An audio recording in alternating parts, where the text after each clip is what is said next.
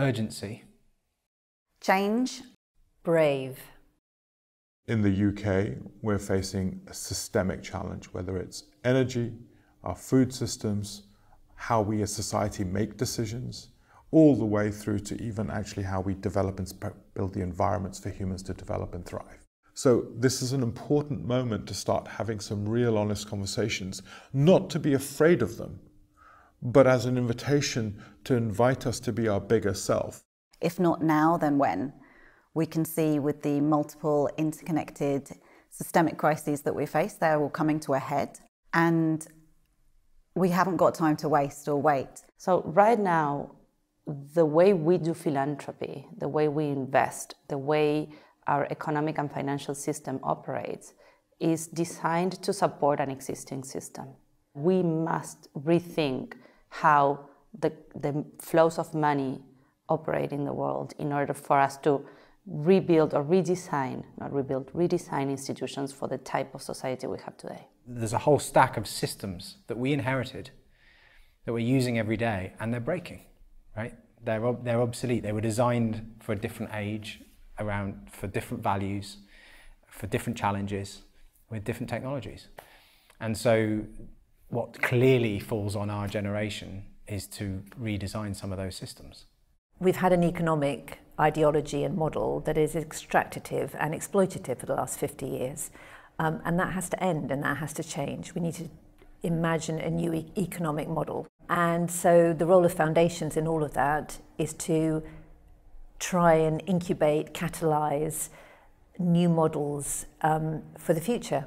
Capital flows are hugely, hugely influential. And if we can change those capital flows, not to be extractive and not to be exploitative, then we will have done a massive amount of good. The biggest form of wealth by a mile is property rights. The one thing that we could transform tomorrow in the UK, and I would say this because we're working on it, or you know, and many others are as well. Um, it would be changing the way that we own land. Groundswell. Transformation decentralized finance. Part of the problem that we have is a lot of these communities and are not allowed to fail, right? Because they can't afford it. And so we need to give them the structures or the infrastructure and the funding they need to test solutions, iterate, fail, and learn from that. What's the scaffolding that's needed in order to support um, whether that's individuals in an organization to kind of step into the kind of imagination and creativity and hope that's needed for the future, whether that's community organizations and what's the type of resourcing they need, what are the networks and uh, capacity building that they need. I think what's missing and what does need to change is just recognizing that actually some of the people who are best placed to do transformative work in their communities just need to get paid. They just need a salary to be able to keep doing what they're doing you can show real value and real change through actual practice. And you don't necessarily want to scale that, you want to spread it. So we keep on talking about scale, but actually we always talk about spread. What comes to mind right now is the need for us to work less in competition and less in silos, but together and collectively.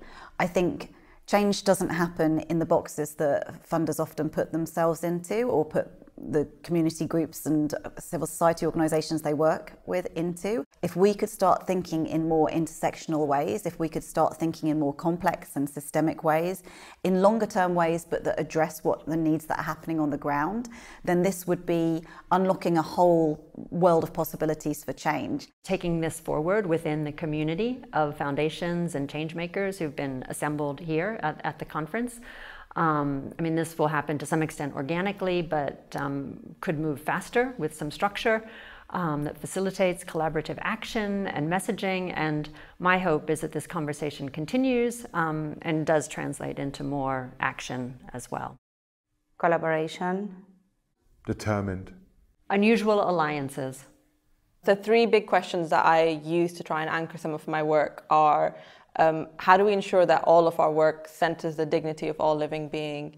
How do we shift who we're accountable to, um, as opposed to who's in power, to communities and to, to the to liberation movements? And how do we really think deeply about who we're in relationship with? What is the higher order accountability towards which we have to hold ourselves and each other accountable right now, starting from yesterday, because we don't have time to muck about. And unless we set our sights on an appropriate threshold, multi generational, planetary as well as human, addressing structural inequity, etc., we are not going to meet the challenges that set before us now. We just can't lots of people are talking about shifting power and you know shifting resources and of course that is really important but what does it actually mean for the sector and more to the point what does it actually mean in our economy in our society who has power what does it mean what does it look like where does it need to go who doesn't have power what does that look like and how do we begin to build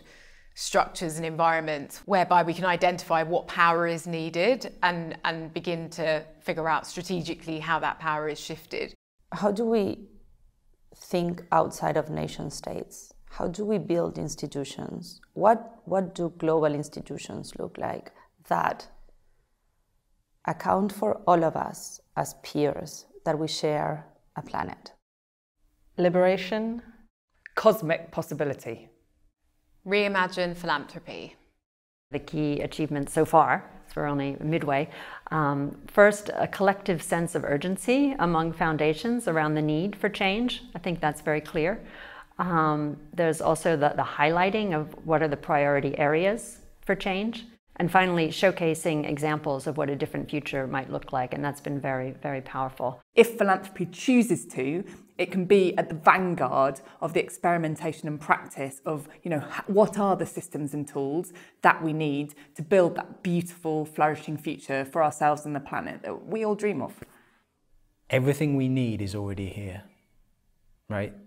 All the land, all the technology, really most of the technology, all of the people, all of the knowledge that we need to live in a fairer, more sustainable world is already here.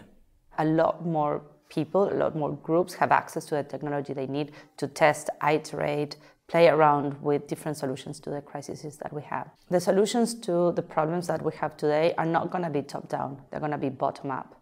And so by putting money, resources, and technology in the hands of grassroots groups, we're able to propel forward the solutions that we need. One of the things that I feel really hopeful about is the future generations, the way that they organise, the way that they relate to one another, the way they stand in solidarity with one another's causes. I find super inspiring and super hopeful. And I do think that our new modes of communication have allowed that, have allowed good ideas to spread across borders between groups, and allowed us to find communities even when we feel like we're isolated. And that makes me feel really hopeful. It's the people behind movements that really have the power to drive change. I feel really hopeful about the ideas that are being shared and that, that, that there, there are platforms that are being created. The hope comes from people and communities trying to break down inequity um, and who are using really incredible innovation to do that. What would the world look like if we really believe that every human being or every living being has deep kind of magic and potential within them and created systems to enable that potential to emerge. How would our workplaces change? How would our families change? And what comes out of it in a very small but very powerful way is our ability as a generation who bears so much responsibility for what we're seeing now, being able to show our children that among us are people who are not taking this at face value and saying things can't be changed, but they're taking upon themselves to sow the seeds that will grow into that future that all of our children deserve. I don't think we have a choice of failure either. There is no other way. I think this is a paradigm shift for all of humanity and our relationship with the planet and our relationship with technology. So I don't sit there with dread, I sit, this, sit there with a massive opportunity. And I think we have to embrace the possibility of what the future heralds for us. And yes, there, if we don't do it, there are risks, no doubt they are. But we sit forth with a massive opportunity to reimagine ourselves.